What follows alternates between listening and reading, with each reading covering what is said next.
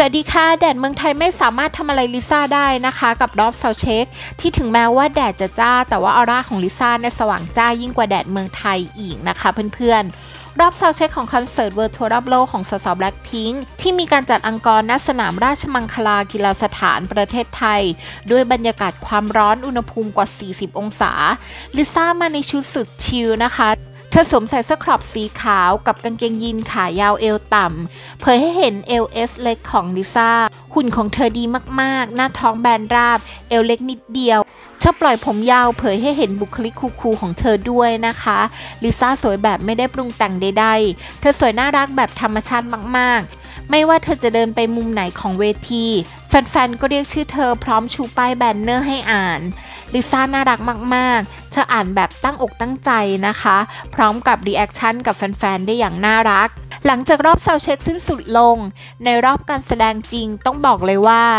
คลื่นสีชมพูเต็มไปทั่วบริเวณสนามราชมังคลา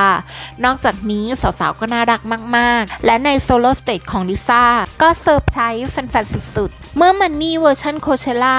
มาเสิร์ฟให้ BLINK ไทยได้ดูกันถึงกรุงเทพ ลิซ่าในลุคนี้เจิดจ้าสุดๆ ผมยาวของเธอที่ปล่อยอย่างเป็นธรรมชาติ ยาวถึงเอว ลิซ่าทำ solo stage ของเธอลุกเป็นไฟ เมื่อ Money เวอร์ชัน Coachella ที่ทุกคนรอคอยได้เริ่มขึ้น เอเนจีของลิซ่ามากมายมหาศาล เธอทั้งร้องทั้งเต้นอย่างไม่รู้จักเหน็ดเหนื่อย ยิ่งไปกว่านั้นนะคะ ขน fur ที่เป็นอ c เซสซอรีในชุดของลิซ่า ช่วยส่งเสริมให้เวลาเธอเต้นเพลง Money ดูมีความน่าสนใจเพิ่มมากขึ้นไปอีก ท่ามกลางเสียงกรี๊ดของแฟนๆ ภายในคอนเสิร์ตลิซ่าสร้างปรากฏการณ์สุดพิเศษ เหมือนกับว่าย้ายเทศกาลดนตรี Coachella มาไว้ที่ประเทศไทย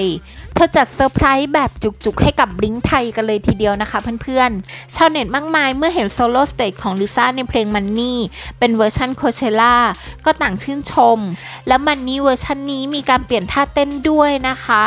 ลิซ่าเปลี่ยนท่าเต้นได้อย่างทรงพลัง สีหน้าและแววตาของเธอระยิบระยับแพรวๆลิซ่าเธอยังคงเป็นที่สุดแห่งการ entertain แฟนคลับ เธอทำให้แฟนๆ คลั่งไคล้ด้วยความเป็นธรรมชาติในแบบฉบับของตัวเธอเอง และเมื่อชาวเน็ตเห็นคลิปการเต้น Money เวอร์ชัน Coachella ที่ถูกปล่อยออกมา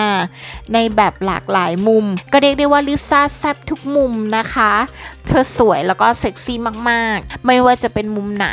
และแอดมินก็หยิบยกข่าวสารมาเล่าให้เพื่อนๆฟังอย่าลืมกดถูกใจเพื่อเป็นกำลังใจให้แอดด้วยสำหรับคลิปนี้แอดมินลาไปก่อนสวัสดีค่ะ